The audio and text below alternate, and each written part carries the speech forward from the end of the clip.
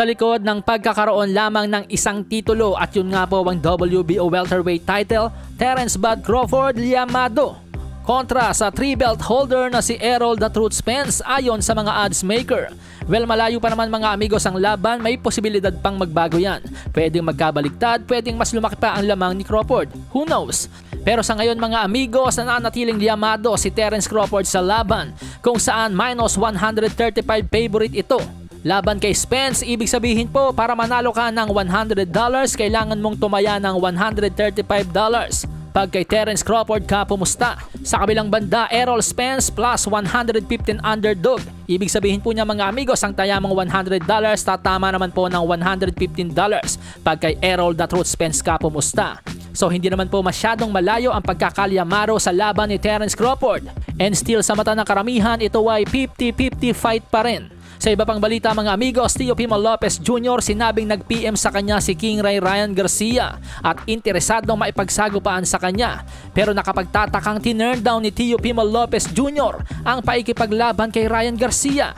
Bakit kaya? Eh siya itong ngawa ng ngawa na kaya daw siya nagretiro eh kada laban 1 million dollars lang ang kanyang kinikita. Matatandaang si Ryan Garcia ay isa sa mga malaking dahilan kaya't umabot ng 1.2 million pay-per-view buys ang sagupaang Tank vs King Ray noong nakaraang Abril. At nakapag-uwi nga po dyan si Ryan Garcia ng tumataginting na 5 million dollars. Kaya naman kung pera lang ang ginagawa ni Tio Pimo Lopez Jr. na naging dahilan nga ng kanyang pagre-retiro, ba't hindi niya labanan si Ryan Garcia? So yan po yung malaking problema ni Tio Pimo Lopez mga amigos. Tinurn down niya dati yung paikipaglaban kay Devin Haney. Tinurn down niya yung paikipag-rematch kay Vasily Lomachenko. Now, tinurn down niya si Ryan Garcia. Tapos nagko-complain siya na maliit lang ang binabayad sa kanya.